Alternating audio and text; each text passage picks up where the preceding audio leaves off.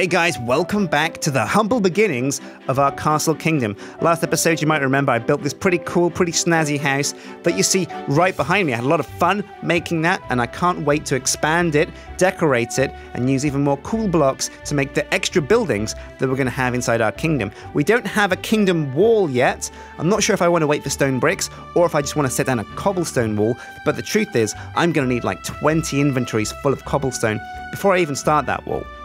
This episode, what I think we're going to do is we're going to work down the research queue in Advanced Warfare. What I really want to do is get towards windmills. I'm not sure if we'll be able to do it this episode, but I definitely want to make a start because if we can get to windmills, we can make our first windmill that's the perfect power generation for the mod pack. Also, along the same chain of research are water wheels, which are another great way to generate power within ancient warfare. So jump in with me and let's go explore some research.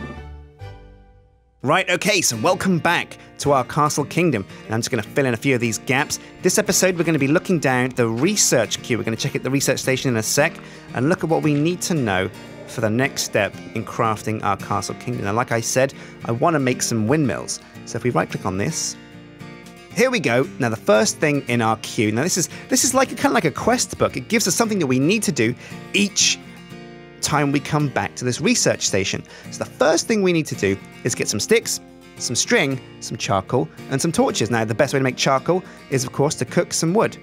So we're gonna put some wooden planks in there. No, they don't cook. It's got to be logs, of course. Right, well, we're going to need some logs. Oh, man, but it sounds like a storm's coming. So I better be careful. Where is the sun? It's high in the sky, so we've got about half of the day left. So before anything happens, I'm going to go get myself some logs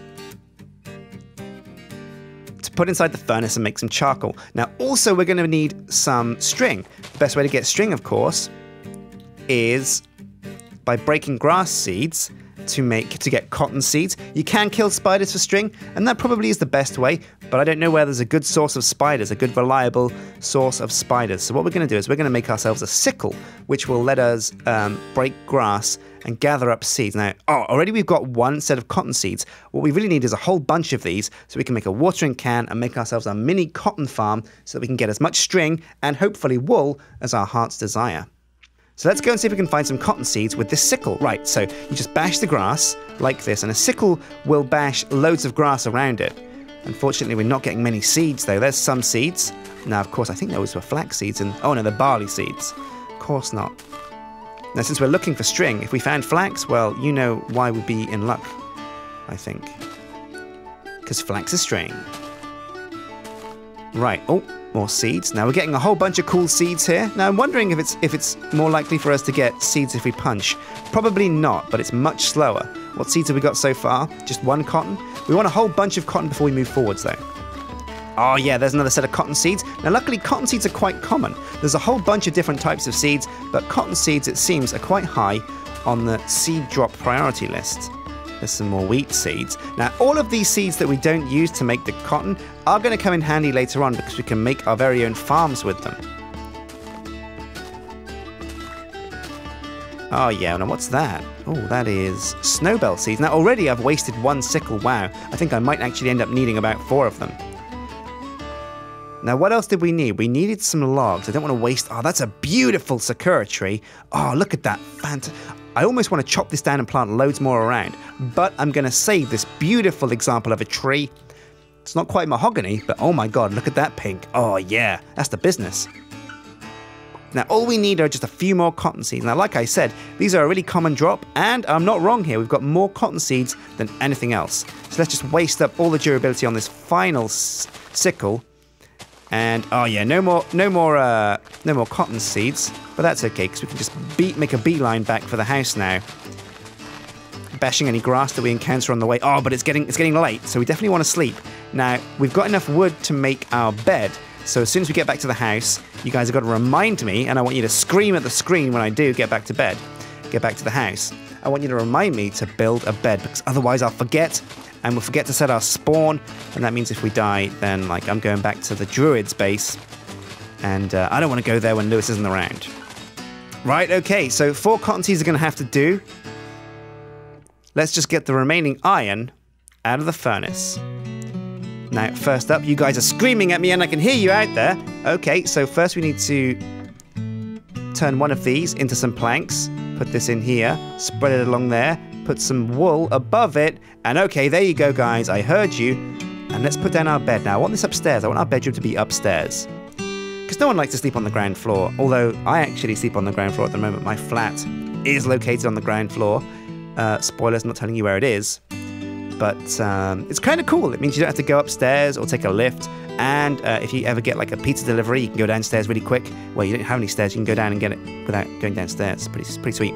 Oh, yeah. oh! Did you guys hear that explosion? Now, nine times out of ten, whenever you hear an explosion out in the world, it's not a creeper, not in modded Minecraft, not in Resonant Rise. What it usually is, is a skeleton that's spawned with a rocket launcher somewhere, and hey what, he's decided to shoot his rocket randomly into a wall. What this means is, usually, he kills himself when he does it, because skeletons are dum-dums, and, uh, and this one's no exception. He's probably wasted himself against a wall, and that's why we can't hear him right now, because he's currently in bits, because he shot himself with a rocket. What a dum dum. But we've slept now, we've set our spawn here. So let's get working on a watering can so we can set up a little cotton farm to get some string.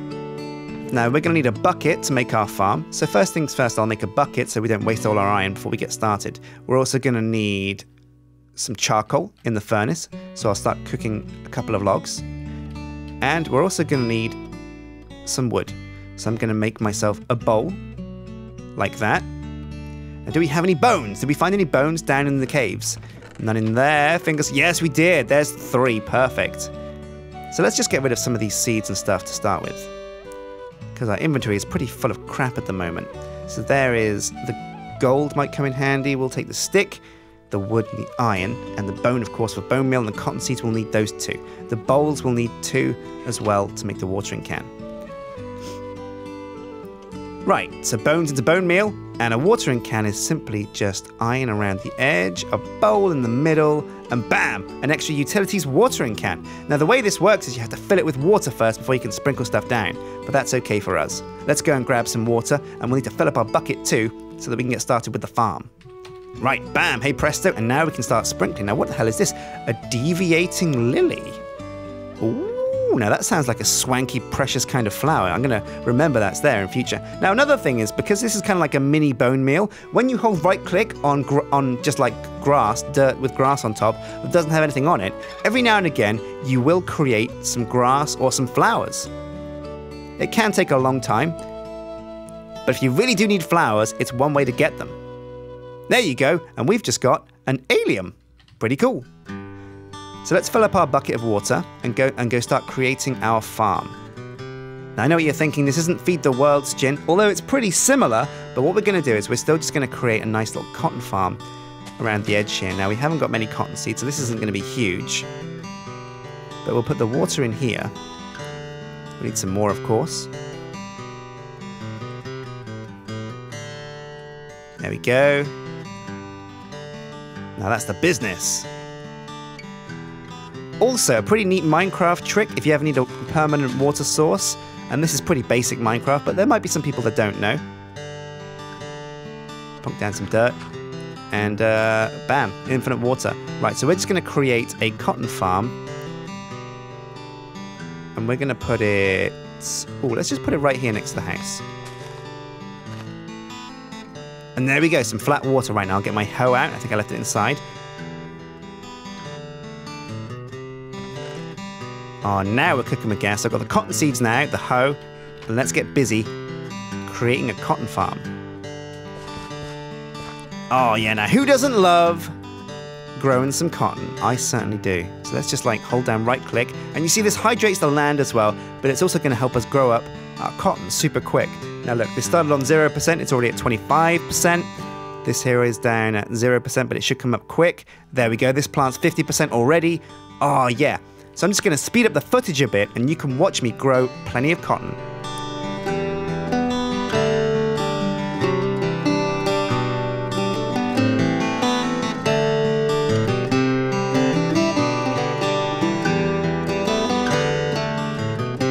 Alright, now we've got 20 cotton. That might be enough to make enough string. Let's see. And now I'm hoping we can actually make string with cotton. I'm pretty sure we can though.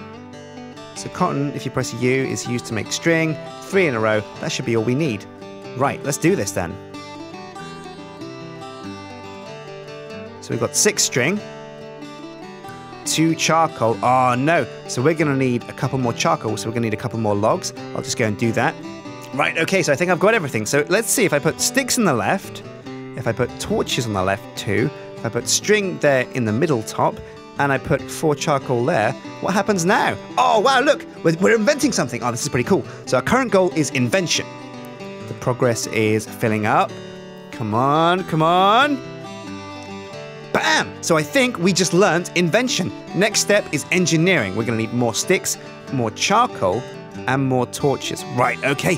Oh, right, I think we might even get to the wheel this episode. Right. So I'm gonna go off. I don't need any more string, but I definitely need sticks, torches, and charcoal. So my mission now is to go and get some wood from some from the trees, some nice single trees over there. I don't want to break these big two or three trunk trees because A, it takes just a long time to get those trees. When they have sprawling branches, you often leave some in the air, and that makes the place look really untidy, and I really hate that. I really hate untidy looking trees. So we're going to need a whole bunch more logs. Right, so let's go and check out the, uh, the furnace and put some more wood in here to turn to charcoal. I'm going to cook all this rubber wood.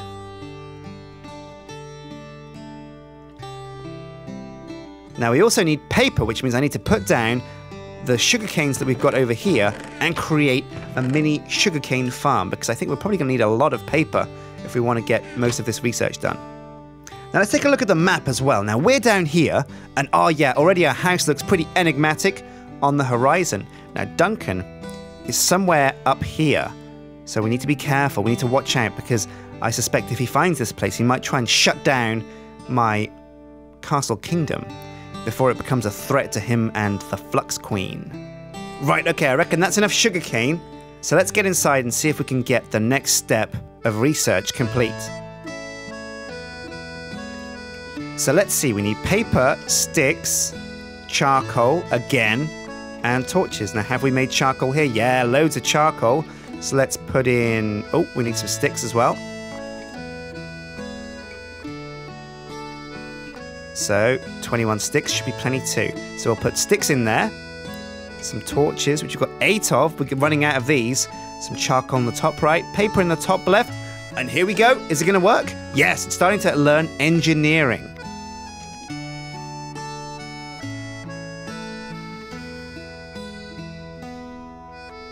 Ah, fantastic. So the next step is the wheel. So if we can learn the wheel this episode, that's going to be huge. It means next episode we can start making things like windmills. So we need a dropper and a hopper. Oh wow, they rhyme. Okay, and what else do we need? Some stone and oakwood plank, which are really easy to get.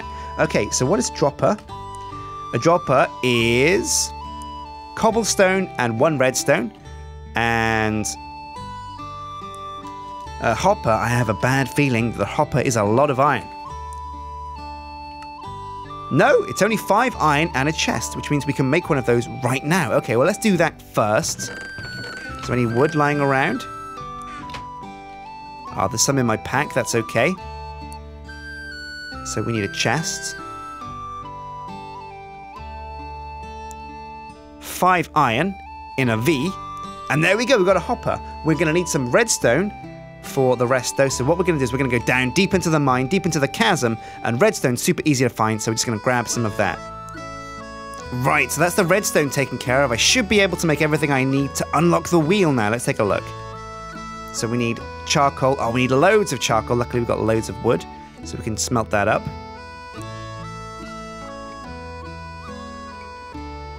We also need nine sticks, which we've got exactly nine of.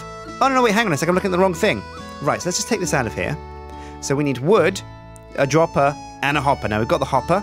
Let's make the dropper. So that's one redstone.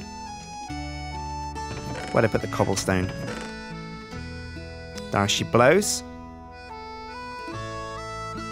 There we go. There's the dropper. We've got the hopper now and the dropper. So now let's go and see what else we need. Stone, which is smelted cobblestone, no worries. Let's just put half the stack in there.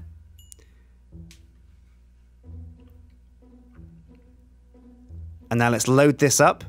The dropper, the hopper, some wooden planks, and four stones. So let's just wait for these stone to cook up. Oh, yeah, now this is exactly what I'm talking about. If I can get the wheel, I can get a windmill. Now, we're going to try and keep as medieval as possible, which means I don't want too many high tech machines. So, what I want to do, and what I think I will do, is use windmills and watermills as our power. Oh, yeah, there we go. We're researching the wheel. That's amazing.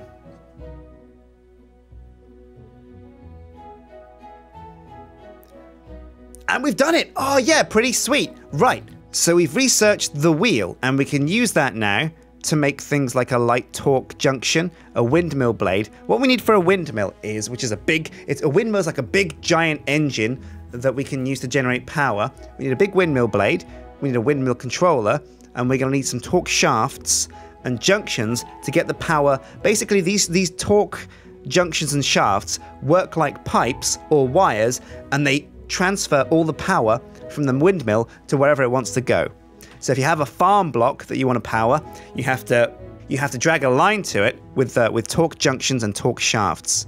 Right, so we've researched the wheel this episode, but what I'm going to do now is go out, I'm going to find some cobblestone, I'm going to get some wooden logs as well, and some planks, and I'm going to get to work and start walling off an area around our compound. I want a nice big plot of land around the edge just to keep off the enemies and make sure everybody stays out of my castle kingdom. Now, eventually, everybody's going to be welcome to come and hang out at the Castle Kingdom, but we've got to be careful because there's all kinds of dinosaurs and dangerous wildlife out there that could break its way in. So, the best thing we want to do, the first thing, the, the most important thing we can really do now, is make a nice big defensive perimeter around the edge of our Castle Kingdom. Okay, guys, thanks for tuning in. Now, the, the sun is setting, it's getting dark out on my kingdom. Next episode, I'm going to be building a nice big wall, I think, around our compound. And I might be looking into making an armory as well, because we've done a little bit of ancient warfare, but it's starting to slow down a bit. So I need to research into how exactly we can make the windmills now that we've researched the wheel. But power generation is really high on our list of things to do. Thanks for watching, and until next time, guys, take care.